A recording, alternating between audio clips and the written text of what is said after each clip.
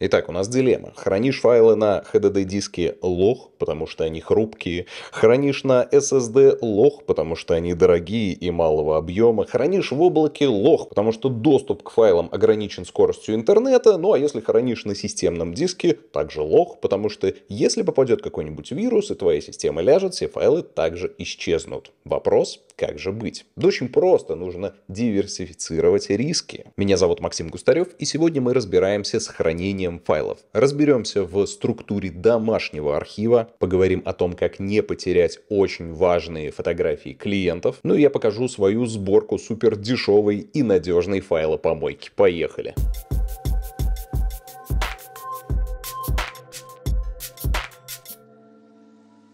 За свою успешно-успешную карьеру фотографа я, к сожалению, успел потерять несколько клиентских очень важных съемок из-за погоревших внешних HDD-дисков, будь они неладны. И я потерял практически все архивные, школьные и университетские файлы, потому что хранил их, ну, как и большинство студентов, тупо на рабочем столе. Ты что делал? Бухал, пил, пил. Благо дело остались те фотки, которые помнит ВКонтакте. Ну там в архивах, личных переписках. Одного подзатыльника судьбы мне было достаточно, и отныне все очень важные для меня файлы я стараюсь дублировать, а некоторые даже триплировать. Поэтому в моем обязательном арсенале несколько SD-карт, несколько SSD-дисков, парочка актуальных HDD-дисков для файлопомойки и уйма архивных HDD пластиковой коробке, которые лежат в квартире в России. Показать я их вам, к сожалению, не могу, поэтому за место них пускай полежит банан. Чтобы понять структуру организации моего домашнего архива, нам нужно проследить за полным путем движения файлов от начала и до конца. Яся, вы не против, она тут полежит? От момента съемки и до момента полного забвения файлов, где-то там лежащих в, на жестких дисках на высоко на антресоле. Инка вам передает привет с котомаятником. И в нашей цепи будет несколько устройств. Начнем мы с SD-карт, поговорим о промежуточном этапе хранения на портативных SSD-дисках и закончим файлопомойкой на HDD. SD-карты. Давайте кратко. Я использую UHS 2 SD-карту от ProGrade на 64 гигабайта, и ей без малого уже 5 лет. Очень она живучая оказалась. И я ее использую как основную, и мне даже страшно представить, сколько информации через нее прошло. За эти годы я успел отснять 217 тысяч кадров на Sony A7R III и 218 тысяч кадров на Sony A7C. В сумме это под 20 терабайт. И в любой момент эта карта может сдохнуть. Точно так же, как и любая другая, даже новая, только распакованная из коробки. И также не исключение, что моя SD-карта пятилетней давности проработает еще 5 лет. Сейчас я снимаю на Sony Alpha 7C. Альфа. Или а, Эльфа, все-таки. Или Альфа назывался. По-моему, Эльфа и в камере всего один слот, и я никак не застрахован от того, что фотографии исчезнут. Готов ли я потерять съемку в случае выхода карты памяти из строя? Ну, зависит от съемки. Если я снимаю творчество, то, разумеется, риск оправдан. Даже если это коммерция, простые там портретики. Если я потеряю фотографии, я мало кого подведу. Я смогу вернуть деньги или договориться на пересъем. Но вот в более ответственные моменты, к примеру, когда я снимал проект для Минкульта СПБ, там потерять фотографии было ну просто нельзя. Поэтому я все снимал на Sony A7R III на две карты памяти с полным дублированием материалов. Также, если, к примеру, вы занимаетесь свадебной фотографией, я не думаю, что потерять фотографии допустимо. Прикиньте, организовать пересъем свадьбы. Лучше себя застраховать и использовать камеры также с двумя флешками и полным дублированием. Ну, либо снимать с двух рук на две камеры. Как профессиональный true Russian вединг фотографы. Но будьте аккуратны, потому что ходит слух, что как только вы вешаете две камеры на свою шею, ваши фотографии сразу становятся вот такими. Запомните одно потрясающее правило. До момента сдачи материалов заказчику ваши фотографии должны быть дублированы. На исходной флешке, либо на отдельном выделенном под эти задачи внешнем жестком диске. Выбор за вами. Далее SSD-шки. Допустим, мы с вами провели съемку, и у нас на SD-карточке есть куча фотографий. Мы приходим домой, вставляем флешку, открываем бридж, делаем отбор фотографий и закидываем их на рабочий стол, либо, может быть, в папочку Image, но лично я перестал использовать внутренний SSD-диск моего Mac как файлопомойку. Внутри Mac Studio SSD всего на 512 гигабайт, и в большей степени он занят системными файлами, программами и временными файлами. Вот, к примеру, только 100 гигов занимают бэки с нашей с Аней съемки в Турции. На днях их закину на Boosty и Patreon, и можно будет с чистой душой скачать Baldur's Gate 3, который весит 120 гигов.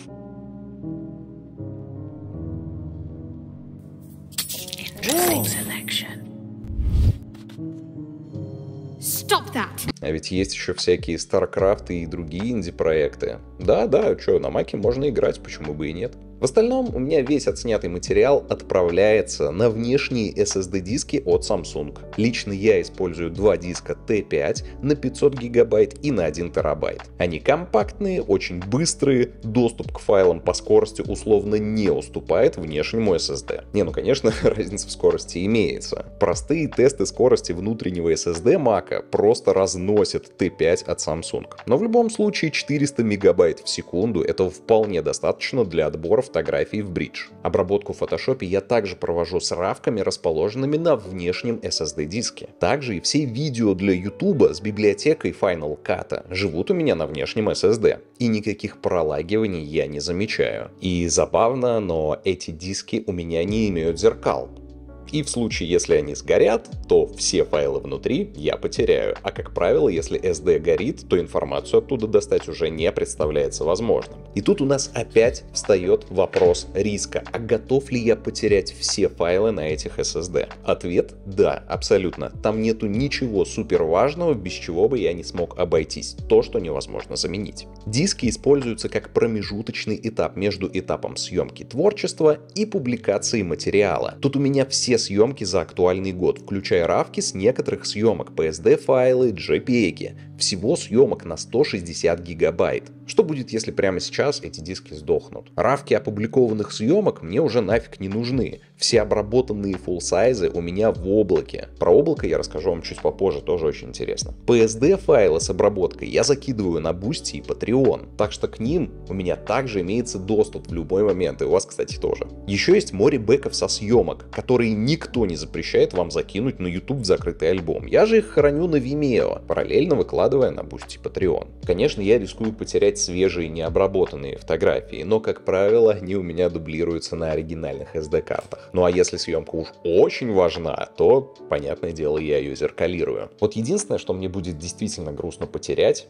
так это подборку мемчиков в рабочей папке с YouTube проектом. Страшно, очень страшно. Надо бы для них сделать резервную копию. В остальном, внешний SSD это всего лишь перевалочный пункт для файлов с циклом жизни в один год. А под конец года я полностью освобождаю SSD и сливаю все на архивные жесткие диски. И вот с ними начинается самое интересное. HDD он же жесткий диск, и многие его называют Винчестер. Я надеюсь, для вас это не проблема. Надеюсь, это не проблема? Это не проблема. Эти диски ужасно медленные, громоздкие, но с большим объемом памяти. К сожалению, они очень хрупкие из-за наличия внутри движимых деталей, которые должны отрабатывать смещение на микроны, и при падении даже с небольшой высоты диск будет ругаться. Поэтому с ними нужно обращаться очень аккуратно. Единственное их преимущество в том, что они дешевые. И именно поэтому их удобно использовать под домашнюю файлопомойку. Если у вас ПК и вы его сами собрали, то вы с легкостью сможете подключить жесткие диски в корпус компьютера. Но у меня-то Mac, мне некуда их подключать. И на самом деле, я думаю, многие пользователи не полезут внутрь своего ПК. Именно поэтому нам нужен хаб. Не реклама, я использую вот такой. Он медленный, с подключением через USB-B, вообще что это за динозавр, с интерфейсом USB 3.0, но зато он супер дешевый. Я его купил за 3,5 тысячи рублей. Внутри два слота под жесткие диски, и для нас это очень важно. Минимизировать риск потери данных с жесткого диска можно простым зеркалированием. Именно поэтому в хабе два слота под два зеркальных диска. Мы с вами можем создать RAID массив. И RAID массивы бывают разных типов. Если вы откроете Википедию и начнете изучать, то к RAID третьему массиву у вас возникнет дикое желание выкинуть компьютер. Но не переживайте, для создания домашнего архива нам не обязательно городить здоровенные RAID массивы, основанные на чередовании блоков данных с контролем четности, состоящих из 10-15 дисков. И нет, потому что такие RAID массивы нужны крупным корпорациям, которые должны хранить видео, к примеру, на хостингах.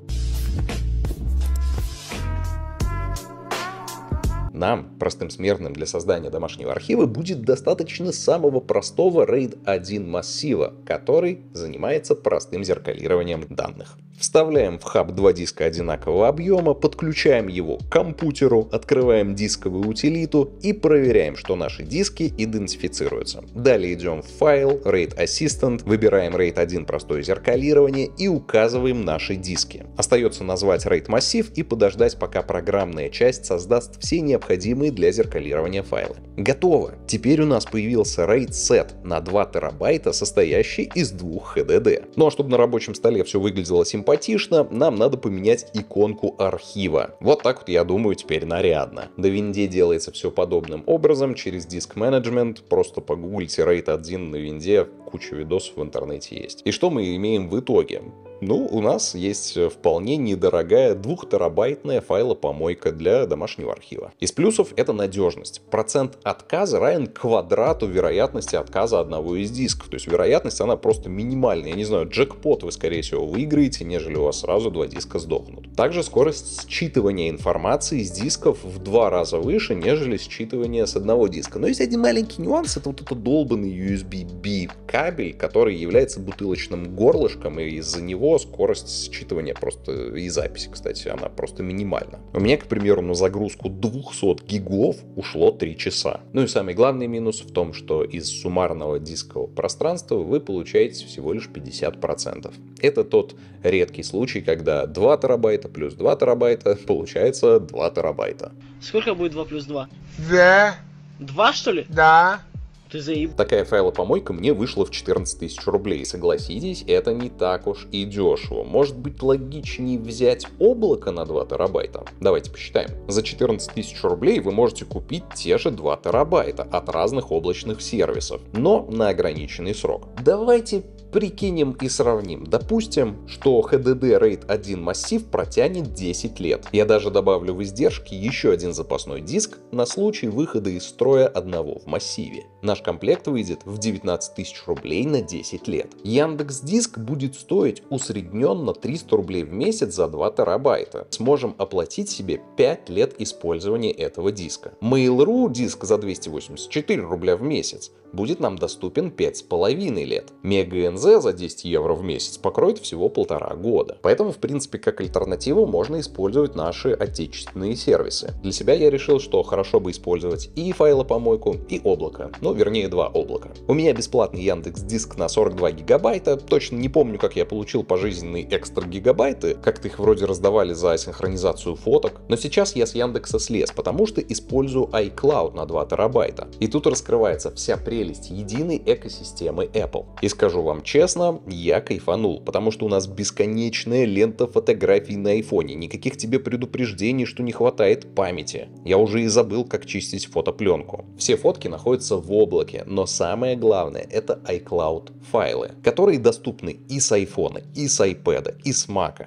Finder слева есть папка iCloud, в которой я создал подпапки с важными для меня документами и, разумеется, бэкапами фотографий. И об этом я хотел бы поговорить подробнее. Архивные диски я подключаю редко и только в тех случаях, если мне нужно найти какие-то старые фотографии, которые я хочу использовать для создания лендинга либо для того, чтобы выложить сторисы в запрещенные сети. И скажу честно, мне лень доставать эти диски, мне лень подключать их. Да и на столе эта бандура стоит и жужжит с проводами, не так это красиво. Поэтому все свои фотографии, а именно full size JPEG, я залил в облако. Я потратил на это три дня, отсмотрел все съемки и скопировал все JPEG в iCloud. 4000 full сайзов. Но есть один нюанс. У меня в архиве каждый JPEG весит по 20 мегабайт, так как я сохранял JPEG без сжатия в качестве 12. Ни для кого не секрет, что JPEG сжатия можно снизить до 8, и разницу вы абсолютно не увидите, а размер файла сократится раза в 4. Лично я посчитал, что надо бы все свои фотографии сжать, но делать это покадрово через Photoshop я не захотел, так как нашел способ автоматизировать все намного быстрее через шорткаты самой macOS. Теперь я могу выделить цепочку файлов, нажать правой кнопкой мыши и сжать файлы до 60% качества в один клик, закинуть их на рабочий стол или в папку с источником, а также одним кликом сжать full сайзы по длинной стороне до 2560 точек, накинуть резкость и зерно, да еще и правильно переименовать файл. Шорткат, конечно, меня заставили попотеть, но я все же в них разобрался. Если эта тема вам интересна, я могу записать коротенький ролик, там на самом деле не так много информации, но думаю, вам будет интересно. А эти шорткаты вы уже сейчас можете скачать у меня в телеграм-канале, ссылка в описании, качайте это бесплатно. В качестве благодарочки жду от вас лайк и подписку на канал. Теперь после обработки каждой из своих съемок я выделяю фулы, прогоняю их через мой шорткат и закидываю в облако, а далее с любого устройства, с айфона, айпада, через файлы я имею доступ к этим файлам. Я могу их дропнуть в сторис в инстаграме или сделать презентажку на iPad. Считаю это архиудобной фичей iCloud Drive. Ну и теперь уж я точно не потеряю свои, блин, файлы. Надеюсь, это видео для вас было также полезным. С вас лайк и подписка на канал. Мне будет очень приятно. До новых встреч. Пока.